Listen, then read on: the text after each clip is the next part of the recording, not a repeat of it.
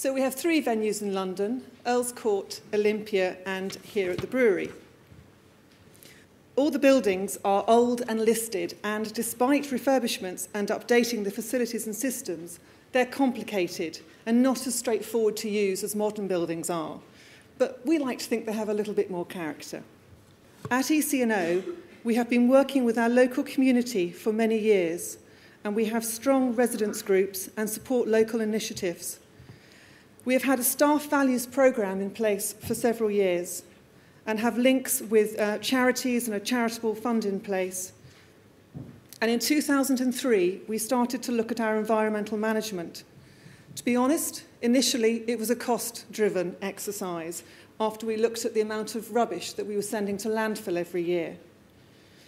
But it then developed from there, and we started to put in place a number of other initiatives including recycling, energy management systems, awareness programs and water reduction measures.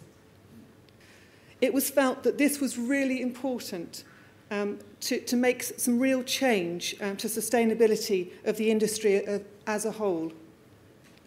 Some organisers are already looking at the way that they manage their events, and for others, the standard will give them the roadmap that they can begin to manage their sustainability. and others just aren't even ready to begin to think about making changes yet.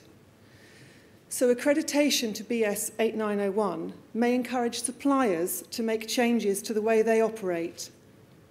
It could give them, or give us even, a competitive advantage so that we can see some real improvements to the industry in the future.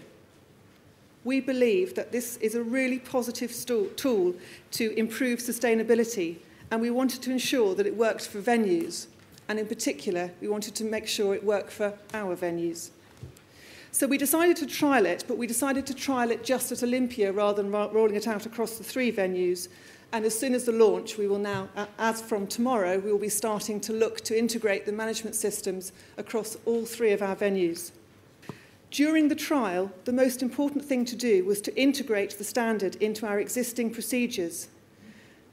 This was pretty straightforward, and we simply started to look at each of the ways we communicate with our clients, from the moment that they showed an interest in the venues, all the way through to the debrief at the end of the event, and to ensure that we considered sustainability in every stage.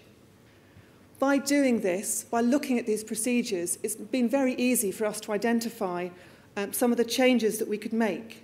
An example of this was enforcing our um, additional waste charges. Nothing stops people leaving extra waste at the venues like a big bill at the end, so that's been very effective.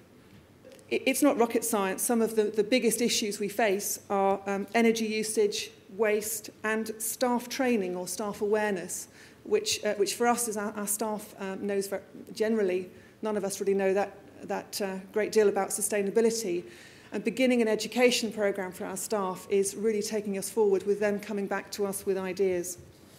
We are looking to develop these um, key performance indicators to include a, um, a number of to perhaps include things like the number of organisers we are working with who are following the standard, the number of cars parked in our car parks, um, uh, perhaps the number of travel miles that we make um, on our business.